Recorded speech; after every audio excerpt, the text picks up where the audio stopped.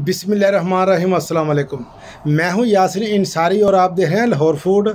आज हम potato, French fries बनाएँगे और रेसिपी आपके साथ मुकम्मल शेयर करेंगे। तो शुरू करते हैं जी।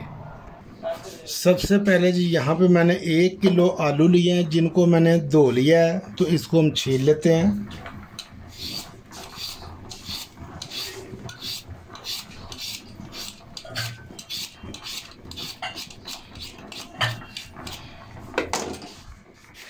यहाँ पे जी सारे मैंने छील लिए हैं। तो अब इनको मशीन के अंदर यहाँ पे इसमें छोटे छोटे पीसेस में काट लेंगे।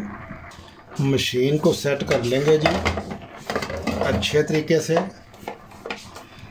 और इसके अंदर बड़ा साइज़ है ये, छोटा भी है। जौन सा पसंद करते हैं वो आप काट सकते हैं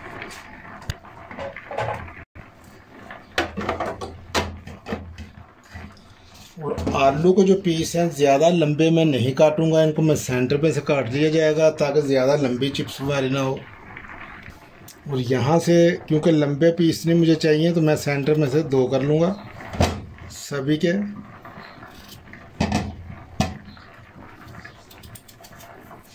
क्योंकि ये ज़्यादा लंबे बन जाते हैं पीस तो वो हमें नहीं चाहिए, हमें छोटे चाहिए।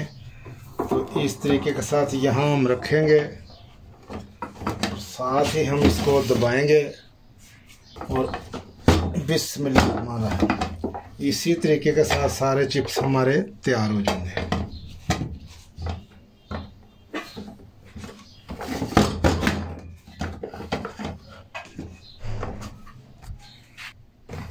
तो यहाँ पे सारे मैं काट चुका हूँ।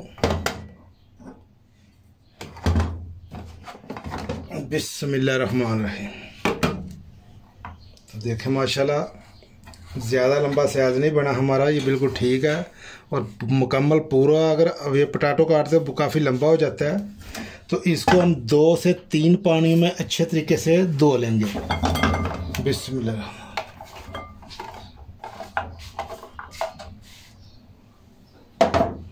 दो से तीन पानियों में अच्छे तरीके से धोना है जी।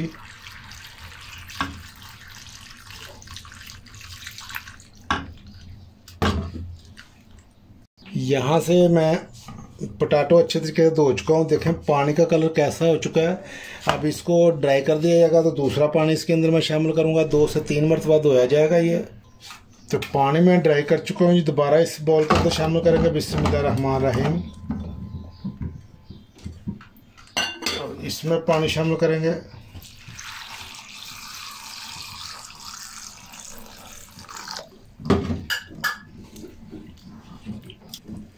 दोबारा से पानी देख सकते हैं।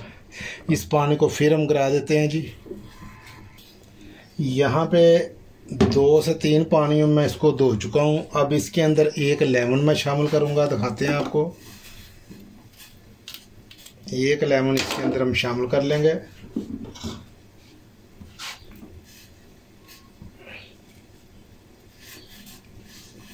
ताकि बीज अंदर ना जाए, इसलिए चाय मोने के अंदर मैं इसको कर रहा हूँ। तो मेरा ख्याल है रस रस जो है इनमें से कुछ कम निकला है। तो मुझे यहाँ पे एक और लेमन इसके अंदर शामिल करना पड़ेगा। आप देख सकते हैं, अगर आपके पास बड़ा लीमू है तो रस काफ़ी निकला है। तो दूसरा डालने की आपको ज़रूरत नहीं है। तो यहाँ पे मैं एक और शामिल करूँगा इसमें।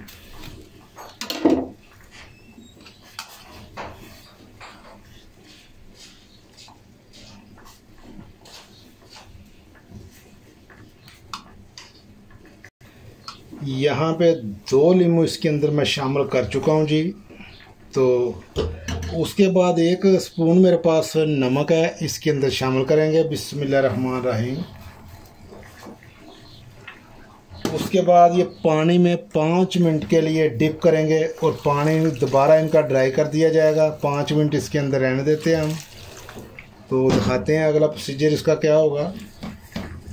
अच्छे तरीके से मिक्स कर लेना है ताकि हमारा जो लीमू का रस और नमक है, सारे आलूओं में जज़ब हो सके।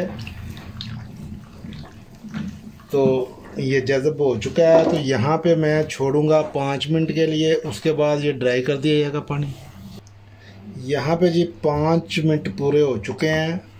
अब पानी इनका ड्राई कर दिया जाएगा और इनको थोड़ा खुश्क कर लेंगे किसी साफ़ कपड़े से। पानी को मैंने सारा ड्राई कर दिया जी, और साफ़ कपड़ा कोई सा भी आप ले लेंगे, नीचे ट्रे मैंने रखी है तो इस तरीके के साथ इसके ऊपर बिछा दिया जाएगा।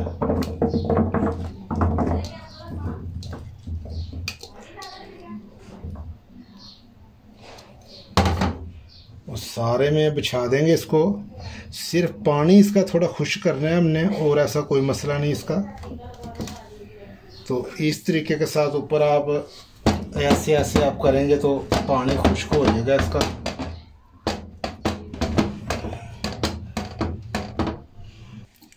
यहाँ पे जी अच्छे तरीके से मैंने पानी इनका खुश्क कर लिया है। आप देख सकते हैं कपड़ा भी यहाँ पे गीला हो चुका है, ठीक है? तो अब इसको साइड पे करते हैं जी। खुशक करके मैंने ये बॉल के अंदर निकाल लिया देख सकते हैं, माशाल्लाह, बहुत ज़बरदस्त खुश्क हो चुके हैं ये। यहाँ पे चूल्हे का फ्लेम मैंने ऑन कर लिया जी। तो घी रखेंगे रहमान क्योंकि घी में ही अच्छे लगते हैं, तेल में इसका जायका नहीं रहता। तो पहले हम हल्के फ्राई करेंगे, यानी कि ये दो मरतबा इनको मैं फ्राई करूँगा। तेल को गर्म सॉरी घी को गर्म हो लेते हैं यहाँ पे। तो पहले हल्के फ्राई करूँगा, उसके बाद उसको निकाल लिया जाएगा, फिर दोबारा इसको फिर फ्राई किया जाएगा। तो बहुत ही मज़े के बनेंगे ये। घी हमारा यहाँ पे गर्म हो चुका है जी तो पोटाटो शामिल कर देंगे। रहमान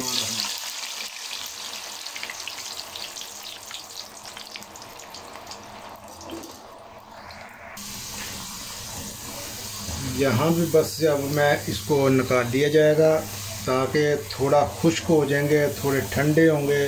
और दोबारा से फिर ये फ्राई होंगे। और जो मेरे चैनल पर नए हैं तो दोस्त देखने वाले चैनल को चाहिए सब्सक्राइब ज़रूर करें, साथ ही बेल के बटन को ज़रूर प्रेस करें, ताकि आने वाली नई रेसिपी का नोटिफिकेशन आपके पास जल्द जल्द पहुँच सके। तो इसको निकाल लेते हैं जी।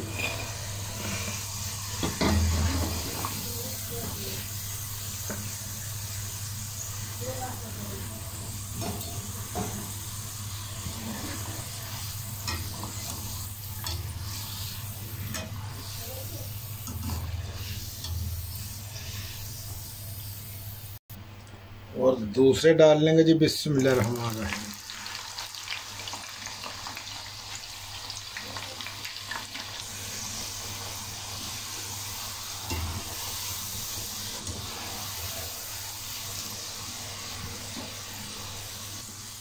यहाँ पे जी इनको भी निकाल लिया जाएगा इस वक्त, क्योंकि हमने फुल फ्राई नहीं करना, अभी इनको हाफ़ फ्राई रखेंगे, क्योंकि दोबारा से होंगे, बिस्मिल्लाह रहमान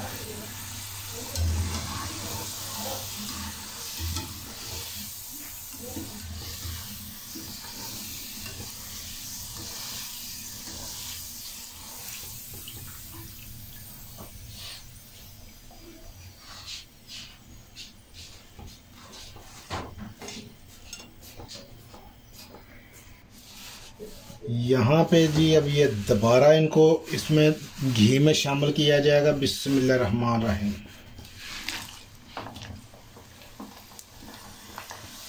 ताकि अच्छे तरीके से फ्राई हो सकें।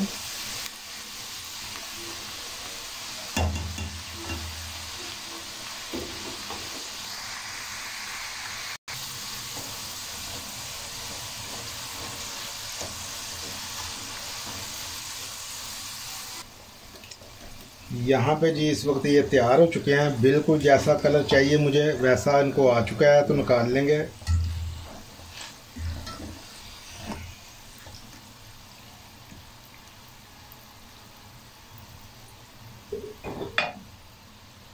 बिस्मिल्लाह रहमान रहीम।